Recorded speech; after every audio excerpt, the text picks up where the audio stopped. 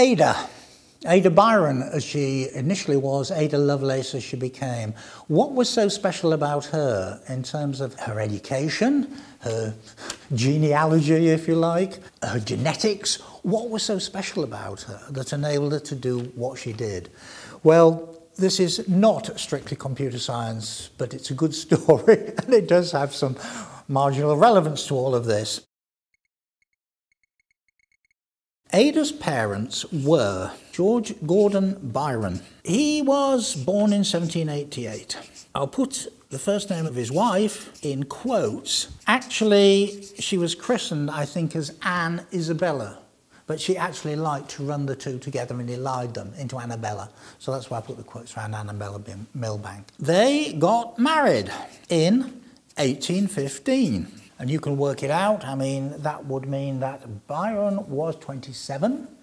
She was actually 23. And very shortly after getting married, they had a daughter. And Byron chose the name Ada for her. You know, short, to the point, poetical. Ada Byron, born 10th of December 1815. She was the only legitimate daughter of these two. Now, I can only apologise again and say I have to say something about particularly her father because it explains so much about Ada and how she was educated the way she was. Lord Byron was unbelievable. He was the Victorian bad boy par excellence. George Gordon Byron was like an amalgam of Hunter S. Thompson, you know, Sean Penn, Charlie Sheen, Keith Richards, maybe, all of the bad boys. And it, had there been a gang of them, a rat pack, he would have been the leader, most definitely. Indeed, he, one of his many, many girlfriends for George Byron was a lady called Lady Caroline Lamb. Some of the oldies of my audience will have seen the movie starring Sarah Miles. And famously, Lady Caroline Lamb characterised him as being mad, bad, and dangerous to know. He writes like a housemaid on the verge of the vapours. Not mean to write like Alexander. Lord Byron was famous at Cambridge for keeping a pet bear in his rooms. And when he later declared himself to be a poet, and he was a very good one, he went off to Italy to see his poetical friends and had them visit him. People like Shelley and Keats and stuff like that. Shelley recounts that when he found Byron by the sea in lodgings, the staircase was occupied by six pet peacocks. It was this kind of excess. It was sex, drugs and rock and roll, except no rock and roll in those days. So it was sex, drugs and poetry. If he'd had a Rolls Royce, it would have been in a swimming pool. Is this oh, yes, yes, yes, yes, yes. Because he was like that, and because he left his wife immediately, five weeks after Ada was born, and they'd only been married earlier that year, that Annabella Milbank thought he was the devil incarnate, had no time for him, and was worried stiff that daughter Ada might grow up in the image of her father. So to try and head off trouble at the pass, it was decreed that Ada's education could cover things like non-fiction English literature, geography, botany, mathematics, physics, chemistry, nothing that involved the emotions. The thing that was absolutely banned in her education was poetry. That inflamed the passions. She might start taking after her father, and then heaven knows what would happen. So Ada, unusually for a, a, a woman of breeding in early Victorian era, had a very rational scientific upbringing. She had mathematics tutors, and later on, actually, in wanting to become an even better mathematician, she did ask, well, she not only took up with Babbage, as we'll find out, but she also asked for recommendations for other tutors. And one of them is a person I think I have mentioned on Computerphile already, Augustus de Morgan, who came up with the rules of logical algebra, later known as Boolean algebra. So she had De Morgan, of De Morgan's rules fame, as one of her maths tutors, and she was serious about becoming ever more uh, devoted to mathematics. Think about it, 1815, she was a society lady. She lived with her mother and a large proportion of living with her mum during the year would be in London in rented lodgings. Yes. Her mother was reasonably well off. She was a minor league sort of heiress in her own right. They could afford that, okay. But young ladies of breeding, really up until about 1970, in the society circuit, had a, had a ceremony almost of what was called coming out. What it meant is you were a debutante, you were a young lady in society who hadn't been formally introduced to the people who mattered in societies. So you had coming out balls in fashionable London. And these were attended by the Queen because, of course, by the time you, uh, uh, by the Queen or the King, when you add 17 on to 1815, 1832 was Ada's coming out ball, where she met the predecessor to Queen Victoria, who was King William IV, I think, at that time. But anyway, as part of this coming out, she met at one of the events a certain Charles Babbage. And Charles Babbage invited Ada and her mother, Annabella, to come and visit him at his house, meet his wife, and to be shown this miracle of mechanical engineering and mathematics, uh, only part constructed, but we're just waiting more funds. Difference engine Mark II. And Ada was completely captivated by this. She thought it was wonderful. And she and Babbage became, shall we say, firm friends, corresponded very, very regularly. They kept in touch. But in order to explain how it all came down in the end to this analytical engine, it goes roughly as follows. In the early 1830s, uh, Ada still only 19, she corresponded a lot with Babbage about his difference engine Mark II, asked for recommendations for maths tutors and so on. Late 1830s was occupied by the fact that in about 1835, I think, Ada met another gentleman from high society called William King married him. They fell for each other, whirlwind romance, mid-1830s. So the late 1830s, as you can imagine, was spent on William King's Somerset estate in the process of being domestic and having three children. And fortunately for Ada, very unusual in the Victorian era, they did all survive. And she herself did not die in childbirth. Minor miracle in those days. But by early 1840s, she'd had her three children. Of course, they were well enough off. They'd be looked after by governesses, nursemaids, and so on. She uh, decided that she would like to get back into mathematics. And it was at this late stage that Babbage, without actually formally publishing it anywhere, had come up with the idea of the analytical engine. Either keep it in the CPU, or if you want... Babbage, of course, would have been the first programmer in a sense of his analytical engine. He'd have come up with the design and he'd done pencil and paper exercises about, with that design, will this actually work? But don't forget, the analytical engine was not built, has not been built, and will cause huge problems in being built. However, the spec could be obtained, and it was very, very impressive indeed. So, why didn't Babbage publicise this more? Why did Ada and others have to find out almost by knowing him personally? The answer is Babbage was thin-skinned. Think back to my story in early videos about Newton and Gauss. They were thin-skinned, couldn't stand criticism, couldn't stand the unwashed criticising their great thoughts. But like Newton, he hated publishing. If you published, then the great unwashed would start telling you. The Boeotians, I think it was called, by Gauss. Same thing with Babbage. He was so thin-skinned, he could not take criticism. And worst of all, he stopped giving lectures because people misunderstood them. And worse still, he got heckled. So it was no use asking Babbage to give a lecture to the Royal Institution or something in London about his analytical engine. I'm Not going to do that.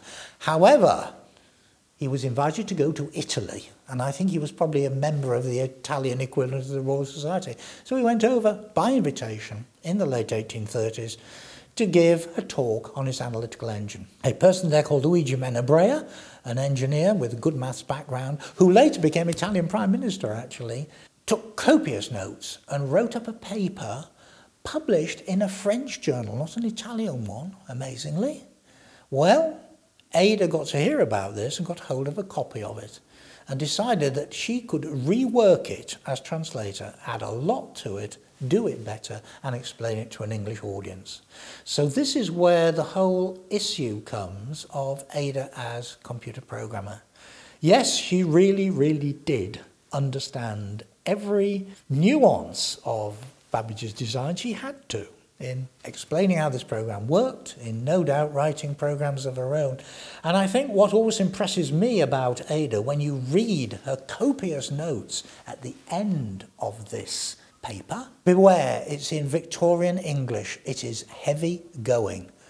She and Babbage and the rest of the Victorians would never use six words where 36 would do. All sorts of subjunctive clauses. Oh, it's hard work. Be warned. So anyway, um, in part of her end notes in this, she lets her imagination run free and she says to people, you know, have you thought, could this wonderful engine of Babbage's compose music?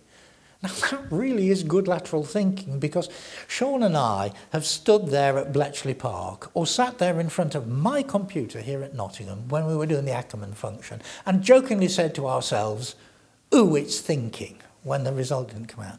And somehow that's not too difficult a thought to have when the thing is electronic and humming away. But to have the thought of this crashing, great analytical engine being driven by steam, going bang, crash, bang, bang, to think of that as a thinking machine, I think does require a big leap of imagination. So yes, she had glimpses of the future, there's no question about it.